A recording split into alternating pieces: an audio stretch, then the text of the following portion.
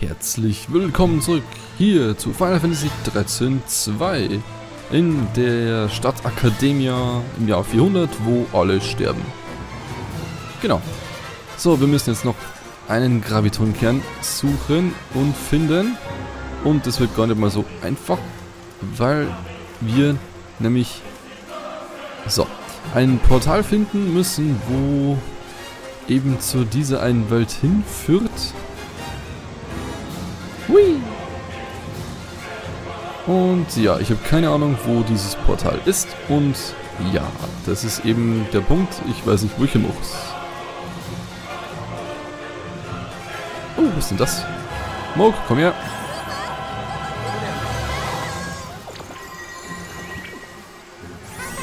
Hui, Schatzkiste. Eine Ampulle Phoenix Blut. Interessant. Ja, da geht's nicht weiter. Ach, komm schon. Ernsthaft? Ha, ich hab's brutal gefunden. Naja, das ging ja jetzt schneller als gedacht. Nicht mal Monster oder so in der Nähe. Das ist, ha, wie geil. Also nur mal so zur Info, ich habe das jetzt nicht irgendwie so getan oder... Also ich habe jetzt nicht irgendwie getan, dass ich es nicht weiß, sondern ich habe es jetzt echt wirklich zufällig gefunden. Geil. So, 2000 Gil. Ach ja. Wo kommt denn der jetzt plötzlich her?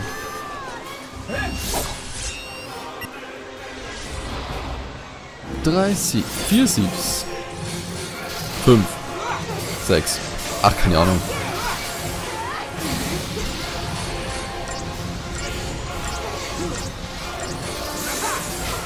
So, der ist weg.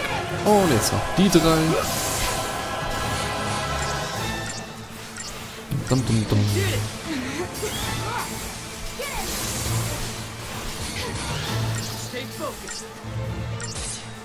Zack, zack, zack.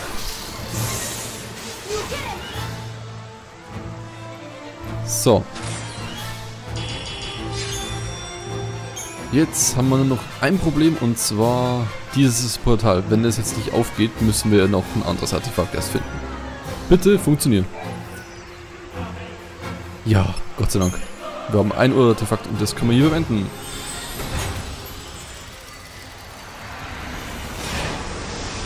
So, dann sieht uns diese Stadt hier wahrscheinlich eher nicht mehr. Yasser, Yashas Massiv im Jahr 100. Genau das, was wir brauchen. Ich hab's gewusst. Dieses... Oh. The ancient city of the Farseers has become the site of a terrifying phenomenon. The first stage was a noticeable disruption in the local space-time. Next, members of the Academy research team began to vanish, one by one. Finally, as if to replace the missing people, floating crimson spheres appeared in their stead. It was not long before rumors of the Padra Ruins curse started to spread. Okay. Na gut, dann reisen wir jetzt zum Yashas Massiv 100 und suchen diesen letzten... Okay, nicht den letzten, sondern diesen fünften Graviton-Kern. Ja. Genau, so schaut's aus.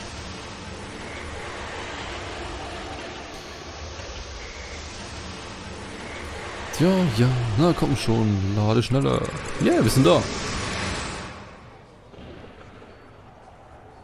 Something is happening in the ruins of what was once the most prosperous city in the world. Many of the scientists and researchers who came to investigate the site have gone missing. And when they do, ominous sphere-shaped objects appear in their place. Mog seemed to know all about the orbs. He told us they're called the Rubies of Grief. They're manifestations of the remorse and sadness left by the unlucky souls who disappeared into the Paradox. The orbs resonate with a powerful emotion sealed inside. What kind of message are they trying to tell us? Ooh. Okay. Oh, hallo, erzähl mal was. Did you come to visit the ruins? You may want to rethink your plans. The paradox effect has grown out of hand. A large number of people have simply disappeared. Do you see the red sphere-like objects floating around everywhere? The Academy is currently attempting to analyze their properties. That said, the area is not restricted, so you're free to explore, if you dare. Okay. Na gut, wir sind natürlich von diesem Paradox-Effekt nicht betroffen, weil wir im Prinzip selber eigentlich ein Paradox sind. What I've learned here is that life has always been hard, no matter what the era. Are the spheres consuming people? Ah, Leute, könnt ihr mal nicht in so mein Ohr schreien, I das ist extrem laut. A paradox is the existence or materialization of something that shouldn't be. Äh, wow. Das wusste ich jetzt überhaupt nicht. So. Could our research be causing the disappearances? Okay, wir müssen jetzt also... Hui. Wir müssen jetzt einen Gravitonkern finden. In einem Gebiet, das nicht gerade klein ist. Hoffnungsknolle. Interessant. Gut, vielleicht können uns die Leute hier irgendwo weiterhelfen. Wo ist jetzt die Frau hin? Oh, achso. Bist du das gewesen? My previous boss was transferred here from the Brescia ruins. He taught me everything I know. Unfortunately, he's no longer with us. He was a nice man, and he took care of me. He was my mentor from day one. If only he hadn't come here, he'd probably still be alive and well. Oh, schade. Tut mir leid für dich.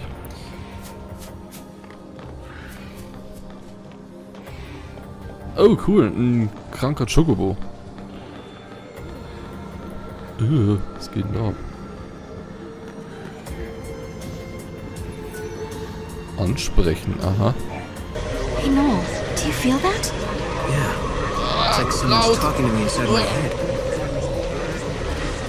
Ich bin Karl, hier bin ich gestorben.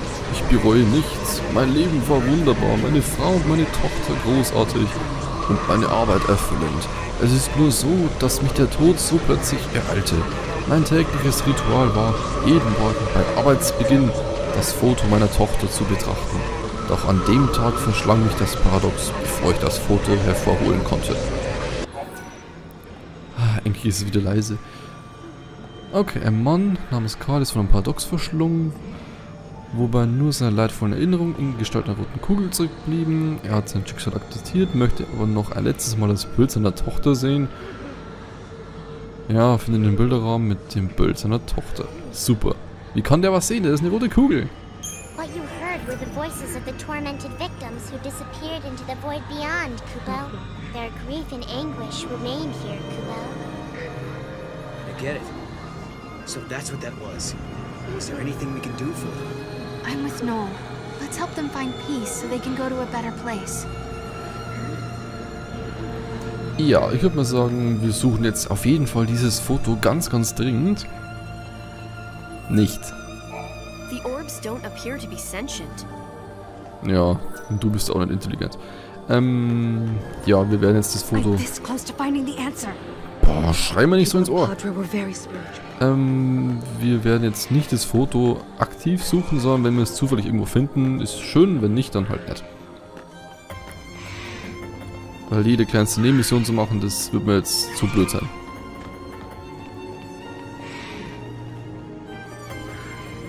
Hm, ich höre schon wieder eine Schatzkiste. Bloß wo?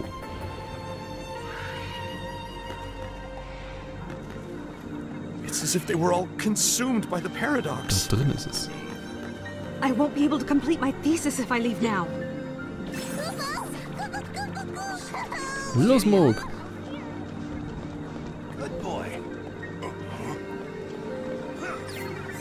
Finde das irgendwie seltsam, wenn Siegeltafeln. Wenn irgendwie alle Leute plötzlich herlaufen, wenn ein Mogri rumgeschmissen wird. Also wirklich alle. Jede kleinste NPC auf der ganzen Karte lauft zu diesem einen Punkt. Das ist irgendwie total seltsam. Naja, egal. So. Ist vielleicht hier oben dieser Gravitonkern? Nö, schaut nicht so aus. Nee. Schade. Oh, ist er vielleicht jetzt da hinten? Awful tragedy took place here many years ago. Na. Und flieg. Ach, verdammt.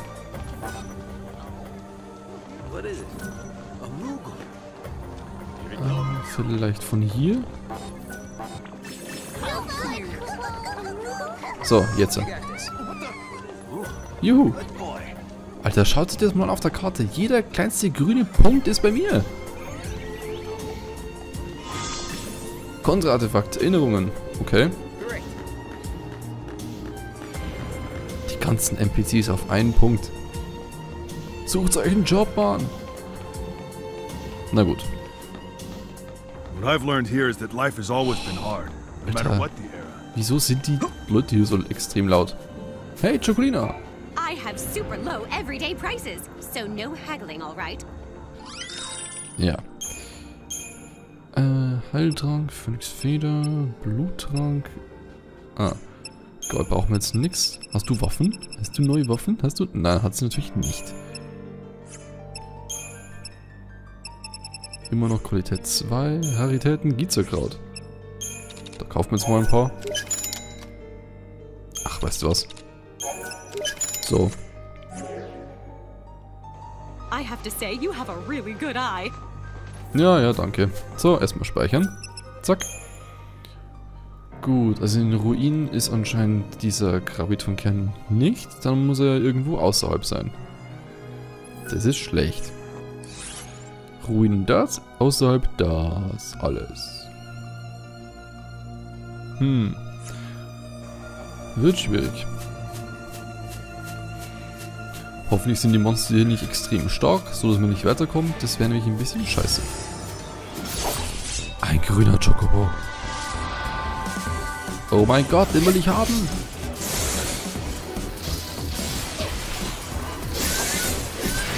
Oh oh. Nein, der hält schon wieder so viel aus. Oh. Der teilt zum Glück relativ wenig aus.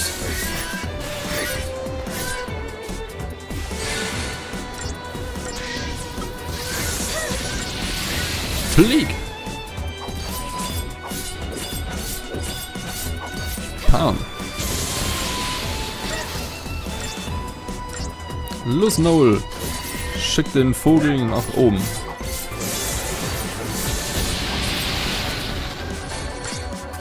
Ich habe so ein Gefühl, dass der so Schockzustand nicht ausreichen wird. Da, da, da, da, da,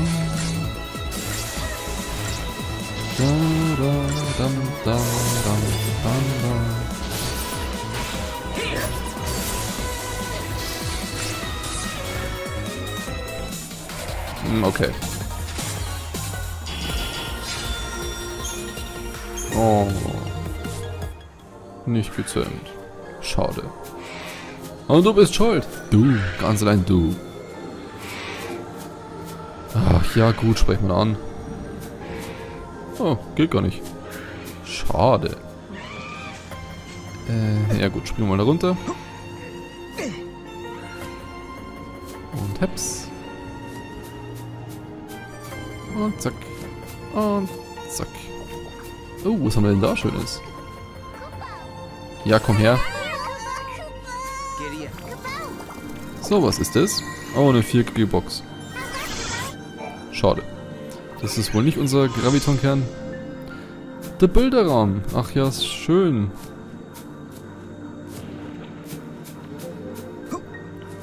Na gut, dann haben wir wenigstens zufällig diese Mission hier erfolgreich gemacht. Auf geht's! Yeah, Hardcore-Musik, yeah! Ah. Ja. Ich bin ein Chocobo, der total tollwütig ist.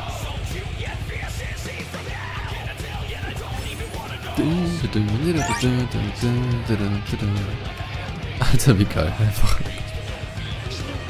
Okay, danke. Danke fürs Mitnehmen, Alter. Ja. Achso. Das ist das Bild meiner Tochter. Ich kann euch nicht genug danken. Der Anblick ihres Lächelns lässt mich alle Widrigkeiten vergessen. Sie ist bestimmt schon erwachsen geworden, aber ich würde sie sicher sofort erkennen. Ich würde gerne auch meine Frau sehen, aber ich muss loslassen. Ich hatte ein wundervolles Leben ohne Reue. Ihr habt mir meinen letzten Wunsch erfüllt. Möge euch die Göttin gnädig sein. Helmiges Nachtschatten. Oder so. Schön. Und die Kugel ist weg. Genauso wie der Chocobo. Aber da steht noch zufällig einer. Auf geht's! Bam, Hauptkammusik, yeah! Miau. Miau.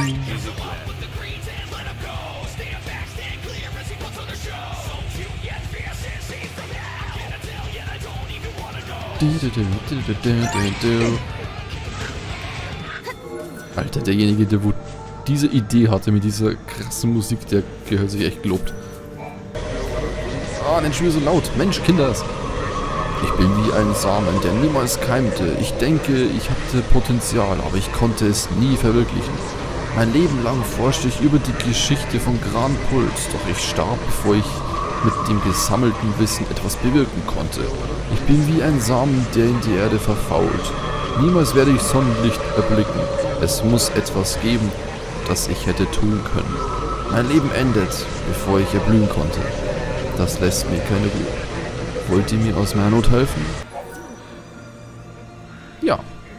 Ein Junge namens Lambert, woher der auch, das weiß keine Ahnung, wurde von einem Paradox verschlungen, wobei nur seine leidvollen Erinnerungen in Gestalt einer roten Kugel zurückblieben. Er leidet darunter, dass er aus der Welt verschwand, bevor er sein wahres Potenzial entfalten konnte. Kannst du ihm dabei helfen, sein Potenzial doch noch zu entfalten? Vielleicht gibt es etwas, das ihm der, den Wert des Lebens vermitteln kann. Hilf Lambert. Ja toll, was müssen wir jetzt machen? Ihm in einer... Keine Ahnung. Unterricht geben an der Universität oder so als Kugel oder was? Ja. Ui, Monster. Monster, Monster. Oh mein Gott. Rigidon.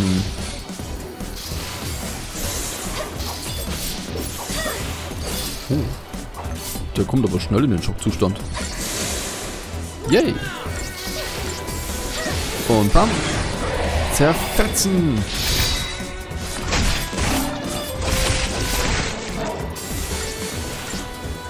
Was haben wir denn da? Rigidon. Zähmbau als Verteidiger. Da unten steht's ja. Cool, ich mal öfter drauf schauen.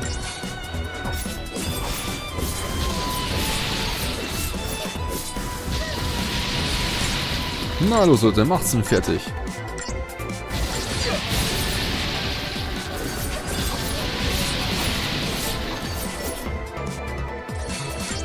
Und noch ein bisschen.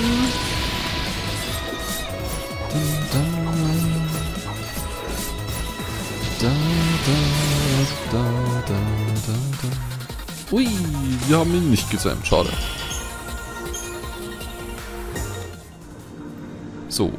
Weiter geht's mit der Suche des Graviton-Kerns. Hm, einfach mal in diesen nicht erkundeten Bereich reinschauen. Vielleicht ist er da irgendwo. Ui, ui. Grüner Chocobo.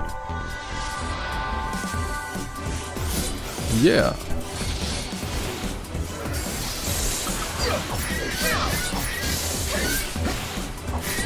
So, Trisaster. Bringt's in den Schockzustand, Leute. So, und jetzt wird er fertig gemacht. Klick. Yeah, stylish Action Cam.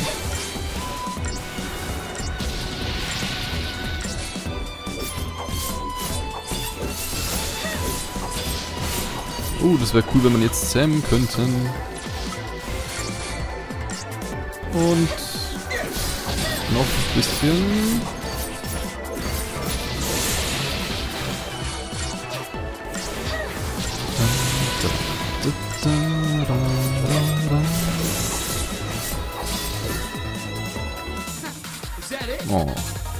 Schaut nicht so aus. Schade. Schade, dann hätte ich echt keinen gehabt. Gut, vielleicht haben wir, dann, haben wir bald wieder die Chance auf einen grünen Chocobo. So, hier haben wir jetzt Heiligenschwert. Ui, geil. Eine neue Waffe für Nolan.